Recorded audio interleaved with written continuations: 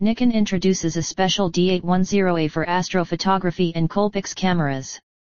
Nikon D810A, an incredible DSLR camera mod to shoot the stars. The Nikon D810A is a slight modification to Nikon's existing D810 professional DSLR powerhouse.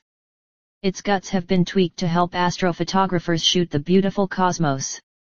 Here's the key change the D810A's infrared cut filter has been modified to let the hydrogen alpha spectral wavelength pass through.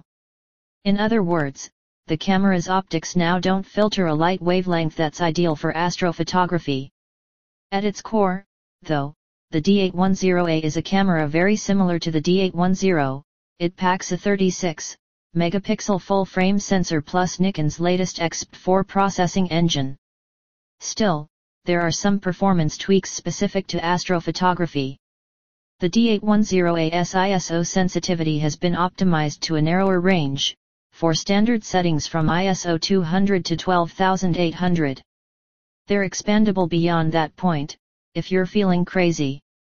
Additionally, there's a new long exposure manual mode that lets you set shutter speeds from 4 seconds all the way to 900 seconds. This gives you plenty of flexibility to be creative with exposures.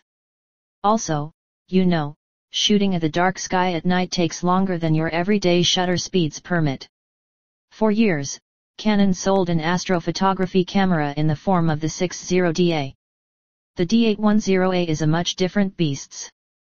First of all, it's way more expensive and its high resolution, full-frame image sensor guts are fancier than what you got from the Canon's APS-C sensor guts.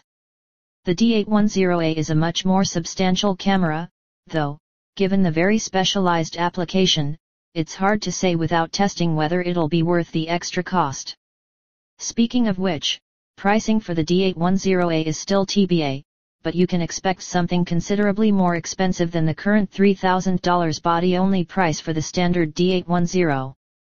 If you're gonna shoot for the stars, you're going to have to pay for it.